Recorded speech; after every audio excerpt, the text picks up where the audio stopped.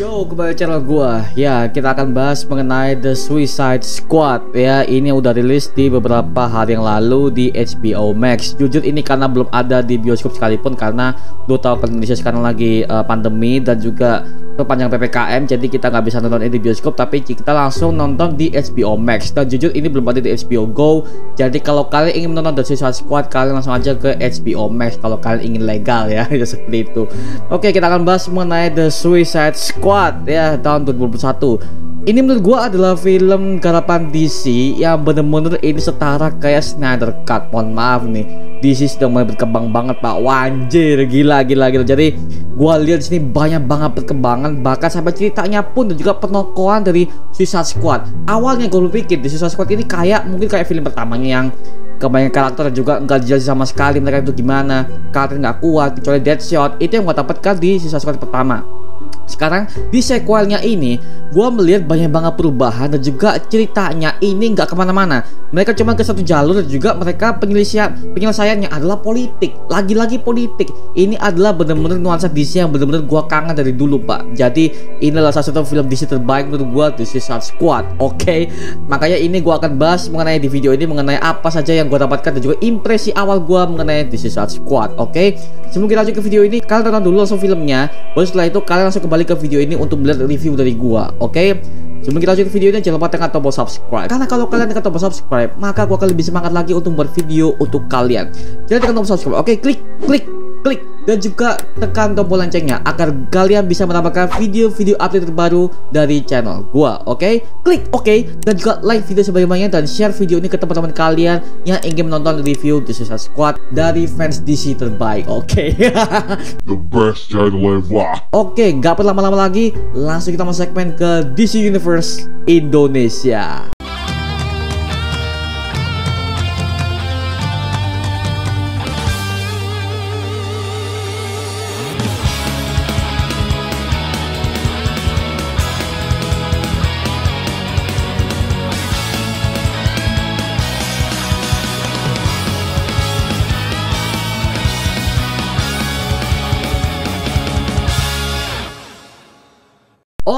ya kita akan bahas mengenai The Suicide Squad. Ya, jujur nih, jujur ketika gue melihat film ini, ya banyak banget adegan yang menurut gue tuh, oh the best sih. Makanya gue sampai kaget sih pertama-tama awal-awal tuh uh, teknik sinematografinya, oke, okay? terus uh, desain-desainnya, animasinya, skripnya, acting-actingnya semuanya main pak. Mohon maaf nih James Gunn gue akui dia sudah setara banget sama Zack Snyder. Oke, okay? dan jujur film ini ya, ya kalau kalian ingin uh, mengajak anak-anak nonton ini lebih baik jangan lah ya karena The Suicide Squad ini filmnya itu bener-bener gore dan juga banyak banget adegan-adegan di mana itu adegan dewasa dan juga gore-gore di mana-mana. Jadi kita bisa belajar di sini bahwa film di situ nggak harus yang dark ya. Jadi ini jujurnya ini nggak dark ya. Ini jujurnya tone-nya kayak Marvel banget Cuman untuk segi gore-gornya Oh my god ngilu pak. Ada adegan adegan otak terpotong lah Tangan terpotong Darah di mana mana Celot-celot Oh anjir itu Itu itu mirip banget kayak film The Expendables banget pak. Jadi ini kayaknya film ini ter, uh, terinspirasi dengan trilogi The Expendables ya Yang diperankan oleh Sylvester Stallone ya. Dan juga Stallone ini juga berperan di sini Itu adalah sebagai King Shark. Itu menurut gua adalah karakter di mana itu mirip banget sama Groot ya. Hampir mirip sama Groot Jadi ini karakter CGI Tapi ini benar-benar menonjol. Nah seperti itu makanya di sini ketika gue melihat di Squad tuh banyak banget adegan yang menurut gue tuh oh my god the best banget sih. Ini yang gue suka dari uh, film DC itu mereka itu kebanyakan karakter tapi mereka bisa menjelaskan. Nah gue lebih suka sutradara yang di sini berhasil menggait semua aktor-aktornya. Yang awalnya mereka itu adalah karakter yang gak penting mereka tiba-tiba di tengah-tengah ending sampai ending pun menjadi karakter yang penting. Nah jadi kita tuh peduli sama karakter-karakternya. Nah seperti itu. Dan jadi misinya ini ya jadi ya gue jelaskan di sini ya. Mereka akan pergi ke Corto Maltese yaitu Corto Maltese adalah negara berpulau kecil di Amerika Selatan. Selama setahun terakhir negara itu dipimpin oleh keluarga besar yang bernama keluarga Herrera tetapi, sepekan yang lalu, Jenderal Silvio Luna dengan tangan kanannya Mayor Jenderal Matteo Suarez mengambil ahli pemerintahan Corto Maltese dalam kudeta militer yang kejam. Akhirnya, seluruh keluarga Herrera digantung dalam eksekusi publik. Meskipun Amerika Serikat tidak membenarkan ekses rezim Herrera, mereka non-antagonis terhadap Amerika Serikat. Tetapi, Jenderal Silvio Luna yang sangat anti terhadap Amerika. Misi mereka adalah harus pergi ke Jotunheim untuk menghancurkan Project Starfish dan menyingkirkan kepemilikannya di tangan Jenderal Luna karena bisa menjadi potensi sebagai bencana besar bagi Amerika dan dunia. Caranya adalah mereka harus menculik seorang yang bernama Gaius Greaves atau disebut sebagai The Tinker. Itu dia itu adalah ahli genetika yang bertanggung jawab atas Project Starfish dan selalu terlihat di klub malam La Kerita Amable. Ya, itu adalah misi mereka untuk pergi ke uh, Jotunheim ya untuk menculik si Guys Griff untuk untuk masuk ke dalam Project Starfish. Nah, ini yang belum tahu. Jadi film ini tuh belum dari awal tuh mereka tuh sangat sangat saintifik, tapi ada politiknya. Jadi mereka tuh bawa buat negara lah, kan seperti bawa buat nama presiden uh, Maltese juga. Jadi gini ya, kalau kalian belum tahu ya, Project Starfish itu adalah sebuah project ya di mana dari awalnya itu dikisahkan bahwa Amerika lah, Amerika yang sudah menemukan uh, adanya alien bentuk bintang laut. Nah, seperti itu. Dan yang ini yang dinamakan Project Starfish. Awalnya adalah Amerika sendiri yang menemukan. Kemudian para astronot Amerika yang berhak yang, yang justru membawa uh, Starfish ini ke bumi, tiba-tiba uh, Project Starfish ini udah kacau karena uh, alien sendiri yaitu adalah si Staro ini ya, si Staro ini ya. Si Staro ini langsung mengeluarkan anak buahnya dan langsung menempelkan intangnya kepada para para astronot-astronot ini sehingga uh, dia langsung turun ke bumi dan langsung ditangkap oleh Amerika dan juga Corto Maltese. Akhirnya, Amerika dan Corto Maltese ini bekerjasama untuk uh, mengembangkan Project Starfish agar tidak terjun ke dunia manusia dan untuk diteliti lebih lanjut sebagai bahan eksperimen. Nah, jadi seperti itu. Tapi setelah itu, uh, Project Starfish ini akhirnya jatuh ke tangan Jenderal Luna karena dia itu sangat ingin menganggap uh, senjata ini adalah senjata paling berbahaya dan juga senjata Project Starfish ini akan digunakan untuk melawan Amerika karena bagi dia Amerika adalah negara yang sangat-sangat brengsek dan juga perlu untuk dihancurkan dengan senjata apa pun. Makanya Kota Maltese ingin memanfaatkan Project Starfish untuk menjadi senjata besar mereka untuk menghancurkan Amerika itu adalah sisi politik yang benar-benar the best banget sih. Makanya gue suka banget dengan ada yang mereka tuh membawa-bawa nama Amerika membawa nama-nama negara apalagi sampai tujuh ke politik. Ini gue bagus banget sih mohon maaf nih. Ini the best banget. Ini kuncinya udah mulai bagus nih. Nah, seperti itu. Makanya dalam misi ini mereka dikirim dan dibagi menjadi dua tim ya, di squad ini. Oke tim yang pertama yaitu adalah Savant Blackguard Captain Boomerang Colonel Rick Flag Mongel, Javelin, TDK atau The Ditchable Kid, Weasel dan juga Harley Quinn ya beberapa anggota ini adalah tim satu dari sisa squad yang ditugaskan untuk pergi ke Corto Maltese oke okay? dan setelah tim pertama ini maju ya tim pertama ini maju dengan dipimpin oleh Colonel Rick Flag ya ternyata misi mereka gagal karena ternyata salah satu dari mereka yaitu adalah Blackguard sudah menjual mereka alias mengkhianati mereka oke okay? Tapi di situ Blackguard juga mati dan alhasil mereka para tim satu ini sudah terbunuh salah satu karena serangan militer oleh oleh tentara Corto Maltese dan seperti itu. Setelah tim satu ini sudah mati semua pak. Jujur aja teknik sinematografinya mohon maaf nih bagus banget sih. Dan juga banyak banget adegan di mana gore-gore parah Terutama uh, TDK, Disable Kid itu menurut gue itu kaget sih menurut gue sih pada saat dia beraksi itu tangannya udah mulai bisa pas ah, patah-patah ya. Dia bisa dari tubuhnya itu itu itu konyol sih. Konyol banget sobat. Jadi jadi semuanya ini uh, anggota-anggota Suicide Squad yang tim satu ini menurut gue tuh uh, sangat sangat sangat tolol sih. Mereka mendarat jeblar jeblar jeblar. Si Whistle pak, Whistle tuh gue lihat dia tuh adalah musang ya, musang mutan gitu loh. Whistle nih konyol parah sih gue lihat sih. Anjir dia tuh cuma terjun doang, mati pak, mati dia. Hey, Whistle mati. I repeat, Whistle is dead. itu itu ngakak sih menurut gua sih. Jadi aduh aduh aduh parah parah parah. Jadi uh, gua kira nih Whistle akan jadi karakter yang benar gimana gitu. Tapi ternyata dia udah mati di di awal-awal. Cuma gara-gara terjun doang anjir aduh. Dan ketika tim satu ini mati kecuali si Colonel dan Harley Quinn yang selamat dari insiden tersebut akhirnya tim kedua belas berhasil diluncurkan untuk menjadi backup timnya yaitu adalah Bloodsport Peacemaker, Catcher 2, King Shark, dan juga Polka Dot Man ya. Ini adalah anggota tambahan sebagai backup untuk tim 2 Suicide Squad. Oke. Okay? Jadi yang tim 2 ini seharusnya mereka itu adalah sebagai untuk penyusupnya dan tim 1 sebagai pengalih perhatiannya sebenarnya seperti itu rencana mereka. Tapi ternyata mereka udah ketawa duluan karena si Blackguard itu sudah menjual mereka, sudah mengkhianati mereka, mengasih tahu lokasi mereka. Akhirnya ya udahlah hancur semua misinya Jadi uh, singkat cerita ya, ini Rick Flag akhirnya diculik oleh tentara Corto Maltese ya.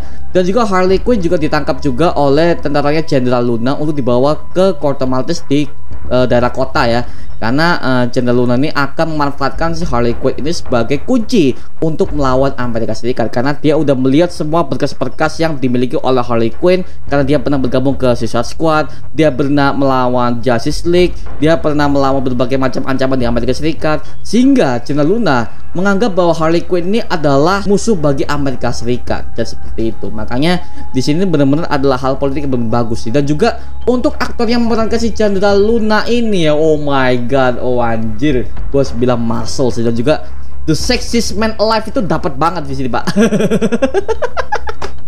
Jadi wahnya badan udah bentuk dia sebagai orang yang romantisme itu udah dapat semua.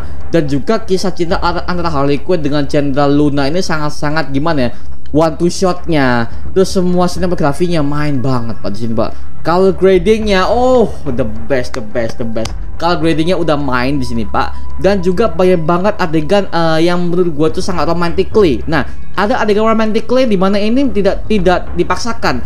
Jadi kelihatan banget Margot Robbie sama si aktor yang memerankan Jenderal Luna ini mereka betul-betul ada chemistry. Dan juga oke okay lah mereka melakukan secara profesional karena mereka adalah aktornya di situ ya.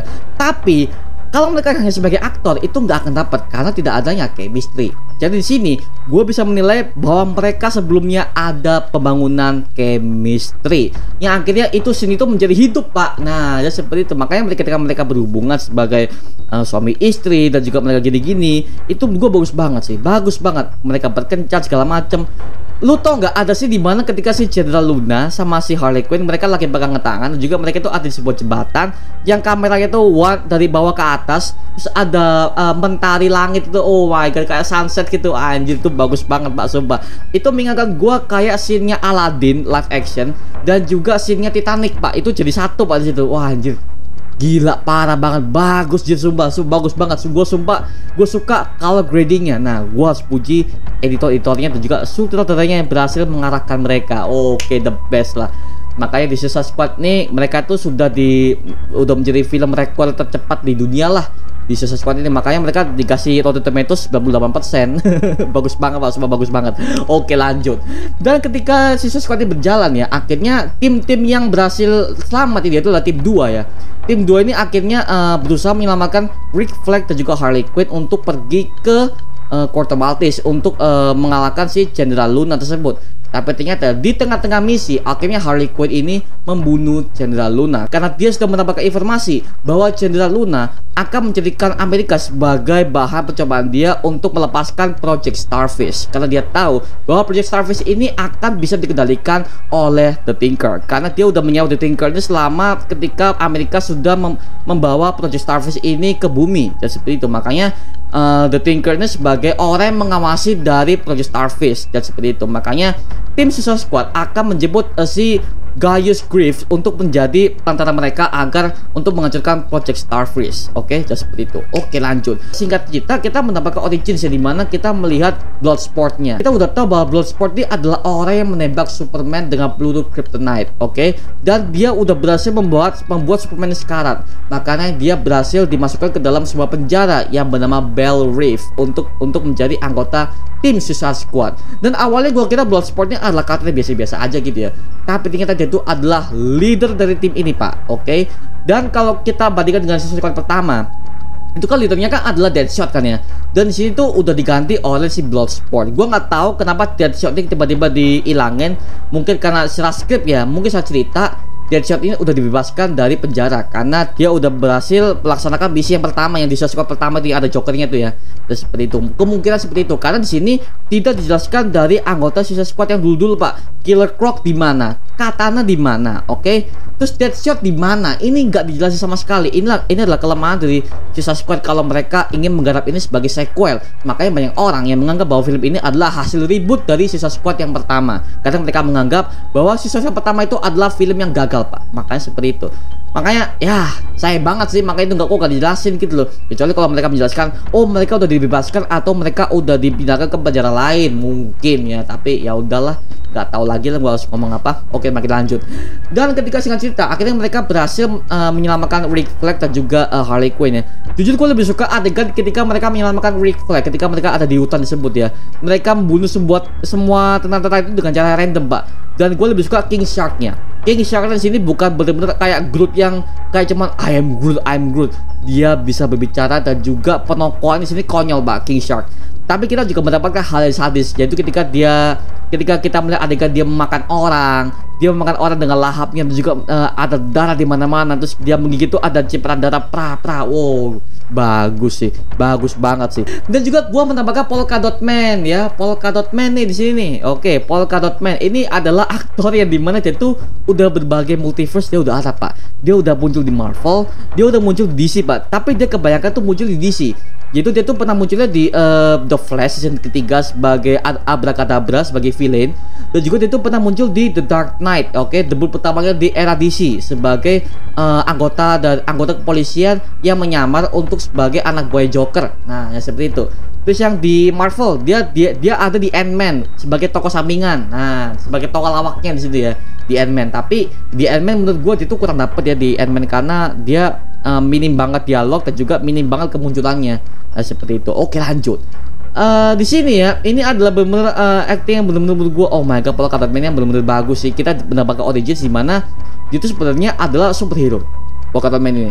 Dan juga ketika awal dia kita biasa menjadi polka dot man, kita bisa mendapatkan bahwa dia itu uh, sama ibunya. Ibunya adalah seorang ilmuwan di Star Labs, oke? Okay? Dan juga ibunya ini uh, punya ambisi untuk menjadikan anak ini sebagai superhero, oke? Okay? Dengan kekuatan polka dot man seperti itu ya. Tapi ternyata setelah ambisinya itu udah mulai uh, tumbuh dan juga anaknya sudah mulai diberi diberi power dengan kekuatan saintis ya akhirnya uh, ibunya merasa waduh anak gue gagal. Karena uh, potensi sebagai seperti itu gagal ya. Dan akhirnya dia dimasukkan ke dalam penjara Bell Reef. Ya gue kasihan sih dengan Polkadot dengan audisi seperti itu. Makanya gue dapat banget. Tapi tapi ya tapi tapi tapi kita nggak diperlihatkan uh, scene scene-nya kita jadi kita tuh hanya diperlihatkan monolognya aja sih. Jadi menurut gue sih kurang dapat sih. Karena kita hanya diperlihatkan monolognya aja dan gak diperlihatkan flashbacknya bagaimana ya seperti itu. Nah kedua kita juga uh, mendapatkan originnya si Bloodsport. Kita udah tahu bahwa Bloodsport itu di awal dia itu muncul, dia itu sangat takut banget dengan tikus pak. Ah, dia takut banget sama tikus tuh. Gua konyol banget sih anjir. Gue ini, ini orang udah sangat tapi takutnya sama tikus. Sama aja lu ngeliat satpam atau enggak orang yang ngejep dengan berbadan dempal, tapi dia tuh takut sama kecoa. Nah itu. Kayaknya ya sayang banget sih. Tapi menurut gua ada ada ada momen di mana tuh oh, ini orang sebenarnya pengecut nih.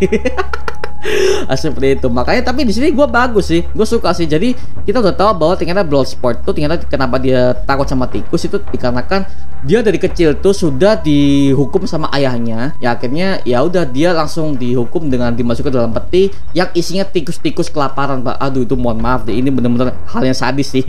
Mana ada orang tua seperti itu tuh? Aduh orang tua bangsa deh kalau gue aduh aduh aduh. Parah parah. Tapi kita udah dapat uh, development karakternya itu situ bagus. Cuman ya itu kelemahannya adalah kita hanya diperlihatkan sebagai monolognya. Kecuali Red Catcher 2 oke Red Catcher 2 ini gue kira itu adalah karakter gak penting dan cuma sebagai SJW doang ya. Mohon maaf nih. Tapi ya tapi tapi semua kegelisahan gue itu akhirnya hilang. Setelah gue melihat Red Catcher 2 itu udah banyak banget penokohannya sangat-sangat bagus banget pak di sini pak. Di sini kita diperlihatkan bahwa uh, si Red Catcher 2 itu ketika dia tuh um, pertama kali punya kekuatannya itu ya ternyata dia dari awal dia dari kecil dia sudah dididik oleh ayahnya itu uh, Red Catcher pertama yang suka meng mengandalkan tikus dan juga me menggunakan tikus-tikus ini sebagai kekuatan dia untuk uh, melakukan kriminalitas dan juga melakukan uh, perampokan bank dan sebagainya gitu lah. Makanya di sini sebagai uh, red catcher 2 nah red catcher satu tuh dia tuh mati karena uh, mungkin serangan jantung ya. Akhirnya uh, senjata itu senjata yang untuk uh, memanggil semua tikus itu akhirnya diberikan oleh si anaknya ini. Nah, jadi seperti itu. Makanya uh, Red Catcher itu menurut gue adalah origin yang sangat-sangat sedih sih. Karena kita diperlihatkan originnya itu juga ada adegan flashbacknya dan peacemaker nih oke okay. Peacemaker ini menurut gue ini adalah uh, yang sangat-sangat menonjol di Suicide Squad Team 2 ya. Jadi Peacemaker ini ketika gue melihat tuh ya dia sebagai villain ya, dia sebagai villain dan juga uh, dari kostumnya tuh ketat banget pak. Dan juga John Cena ya. Mohon maaf deh ada adegan ketika dia tuh telanjang dada cuma pakai sepak doang pak. Ada pak. Itu ketika si, si King Shark tuh lagi di pojokan di sebuah hutan. Jadi King Shark tuh akan memakan si Ratcatcher 2 ini. Ya lo tau kan King Shark tuh adalah mutan hiu yang benar-benar ngeri pak kalau di The Flash ya. Di sini tuh konyol pak. Tapi ya menurut gua sadisnya di sini dapat juga sih. Makanya kalau gua melihat John Cena pakai sepak doang tuh mau maaf aduh anjir. The the the big big gua ini pak. Gua pengen punya badan seperti itu pak. Aduh mohon maaf. Tapi nggak kesampaian. Ya nggak kesampaian sempak lah tapi ya itulah. Ada momen ketika oh John Cena. Apalagi kita ngomong John Cena. Waduh John Cena itu udah mulai terkenal dari zaman gua kecil pak. Aduh. Jadi tapi aktingnya bagus-bagus banget sih. John Cena aktingnya menurut gua dia bisa konyol bisa dia kejam juga bisa dia marah juga bisa. Nah konyol juga dia dia konyol juga bisa pak. Waduh bagus bagus bagus. Makanya ya itulah itulah menurut Peacemaker sini bagus penokohannya. Dan jujur ketika sering berjalan waktu akhirnya mereka menemukan si The Tinker ini dan di tingkat ini ketika gue melihat tuh dia berbeda banget dengan apa yang gue tonton di The Flash. Kalau di Flash dia tuh adalah Profesor DeVoe, oke, okay? Clifford DeVoe. Nah, uh, kalau di sini itu adalah seorang profesor juga, tapi namanya beda, yaitu adalah Gaius Griff, oke. Okay? Dan juga ada adegan ketika mereka bertiga keluar dari truk ya, si Rick Flag, terus Bloodsport sama si apa namanya si Peacemaker ketika mereka keluar itu di belakangnya ada uh, Operation Harley, operasi ke Jotunheim. Nah, seperti itu. Makanya itu menurut gue kreatif sih mohon maaf nih kreatif sih itu namanya aduh itu gua nggak tahu pakai CGI apa tapi jelas itu itu adalah teknik sinematografi yang menurut gue itu sangat-sangat komikal. Tapi ini formula ini hampir tidak ada di film-film yang yang diadaptasi dari komik. Duh bagus banget sih bagus bagus banget sih. Dan juga ketika uh, sampai ending pun oke? Okay? sampai ending pun ketika kita melihat bahwa si uh, Harley Quinn ya Harley Quinn juga tim ini ketika mereka berhasil menerobos masuk ke dalam menara tersebut ya akhirnya Project Starfish ini kita udah tahu bahwa mereka menginfeksi semua orang-orang tersebut dengan cara menempelkan semua inang-inangnya ke muka-muka orang-orang itu ya. Dan juga akhirnya uh, si mereka ini langsung um, menjadi kayak zombie gitu ya.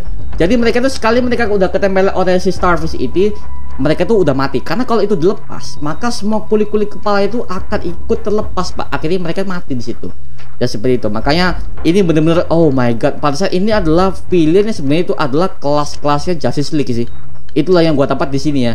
Dan ada final ending ya. Final ending gue melihat oh my god dramatis banget. Dan juga ketika ketika itu kita udah tahu pak bahwa sebenarnya Amerika juga terlibat dalam kasus ini. Karena seperti yang gue bilang di awal-awal tadi bahwa pertama kali menemukan ini adalah asal-asal dari Amerika. Nah, dan setelah itu mereka udah berkom dan udah bekerjasama dengan Corto Maltese dan seperti itu. Makanya ketika Amanda Waller mengirim, mereka di situ tuh bukan untuk mengajukan Project Starfish, tapi ada alasannya bahwa mereka tuh alasan untuk mengajukan Project Starfish dari Amerika ini ya tim Suicide Squad ini adalah untuk menutupi aib dari Amerika Serikat karena mereka udah pernah berkomplot dengan Corto Maltese untuk membuat Project Starfish. Nah, jadi sebenarnya Amerika juga terlibat di sini ya. Jadi Amanda Waller itu berusaha untuk menutupi semua bukti-bukti yang ada. Jadi seperti itu. Makanya dia mengirim tim sisa squad ini untuk mengajukan bukti tersebut. Nah, kita udah tahu di sini. Makanya di sini ada adegan Rick Flag dan juga berlawan Peacemaker ya. Jadi mereka betul bertarung karena si Peacemaker ini dia tuh hanya ingin menjalankan misinya doang dari Amanda Waller karena dipercaya bahwa setelah misi ini berakhir maka hukum penjara yang hukuman penjara mereka akan dikurangi 10 tahun. Nah, tapi si Rick Flag dia tuh sangat-sangat teguh terhadap pendiriannya bahwa dia tahu bahwa Amanda Waller ini adalah orang yang bajingan.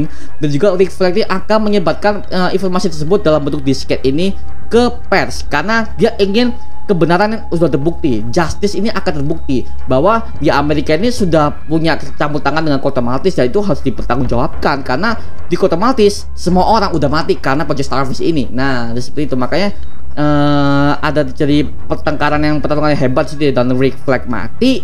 Dan ketika si Peacemaker ini ketika dia akan ngebunuh si ini ya sampai si Bloodsport ketika dia udah tahu kebenarannya ya ya akhirnya pak wuh gua lihat tuh ada slow motion. Nah slow motion di sini tuh pelurunya tuh proyeknya kayak tembus peluru besar bleng bleng bleng. Oh bagus sih mohon maaf nih bagus banget sih. Bagus banget animasinya main pak di sini. Dan sampai ending pun ya sampai ending nih ya sampai ending nih kita diperlihatkan bahwa uh, si Starfish ada Starro, Starro the Conqueror. Oke, namanya Starro the Conqueror. Itu adalah nama pemberi, pemberi dari The Tinker sendiri ya. ya seperti itu. Makanya uh, ketika gue melihat uh, adegan seperti itu tuh gue melihat wah bagus sih, bagus banget. Dan si Staro ini ya, dia tuh kalah cuma di ini tikus-tikus doang, dimakan, dimakan sama tikus-tikus.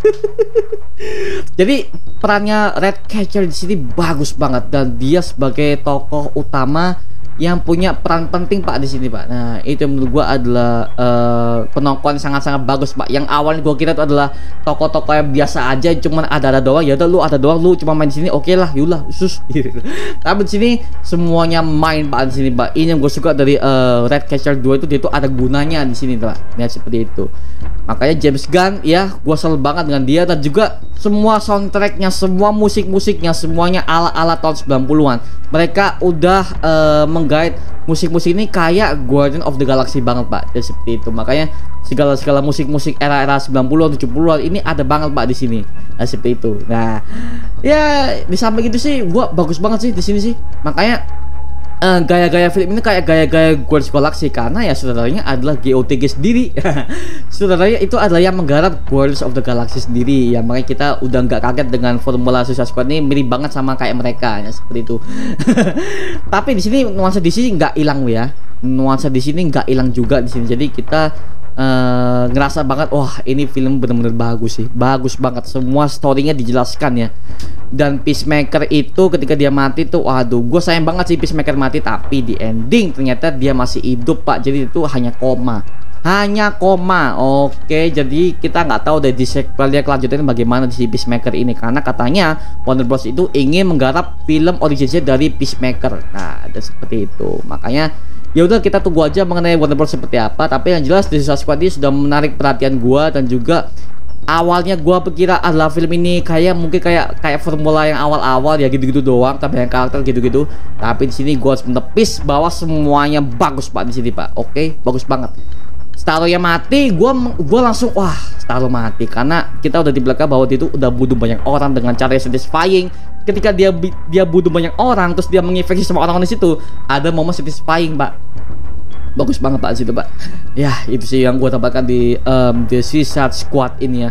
Dan juga Harley Quinn-nya ini tidak terlepas dari itu dia penontonnya sama ya Harley Quinn ini dia udah sebagai hero pak di sini ya bukan sebagai villain lagi Harley Quinn jadi kita benar-benar Harley Quinn ini benar-benar bukan sebagai anggota ancaman lagi melainkan itu adalah hero nya pak di sini nah seperti itu ini yang gua dapatkan dari The Suicide Squad nih ya makanya ini jujur aja dua jam ini terus dua jam ini nggak mengecewakan gua banget sih nah, seperti itu ya uh, itu aja untuk mengenai video kali mengenai The Suicide Squad sampai ending pun kita udah tahu ya. ya. Dan juga di post credit scene ya. Post credit scene nih setelah ending yang uh, credits yang udah bertebar di layar hitam-hitam itu kita belakang bahwa si Whistle. Nah, Whistle ternyata masih hidup pak dan dia tiba-tiba bangun di pulau tersebut. Aduh, ngakak sih gua tuh. Anjir, Whistle masih hidup loh. sekarang gini deh, sekarang gini deh pertanyaannya nih. Kalau dia mati, kok statusnya di di pusat kantornya Argus tuh kok dia juga mati alias deceased? kok nggak alive gitu loh kalau dia bener-bener kayak mati suri gitu loh. Itu ngakak sih gua sih gua ngeliatnya. Anjir lah. Bagus lah badak badak aduh aduh. Nah, seperti itu. Untuk mengenai the sisa squad ya mengenai sampai ending pun gua merasa lega banget sih seperti itu. Untuk scoringnya, oke, okay, kalau gua disuruh membuat scoring seperti film ini ya, film yang sangat-sangat bombastis ini, gua kasih nilai 10 dari 10 ya, alias A. Oke. Okay.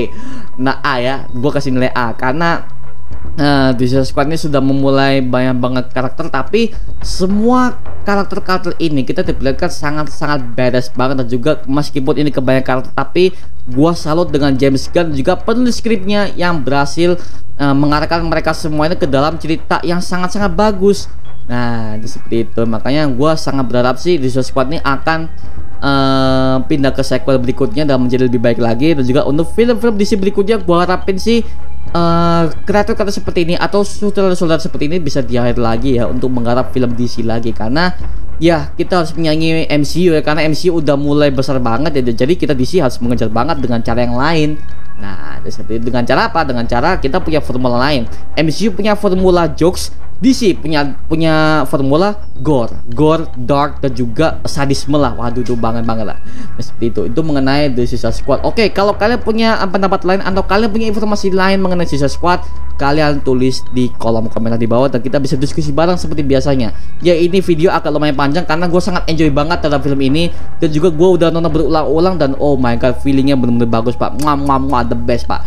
Oke, itu aja untuk, video kali ini. Jangan lupa like, comment, dan subscribe untuk mendukung gua membuat video mendidik tapi untuk kalian semua. Dan juga share video ini ke teman-teman kalian yang suka banget dengan Suicide Squad ataupun juga DC Universe dan juga uh, like video ini sebanyak-banyaknya. Karena kalau kalian udah like sebanyak-banyaknya, maka gua akan lebih semangat lagi untuk membuat video untuk kalian. Oke, sampai jumpa di video berikutnya.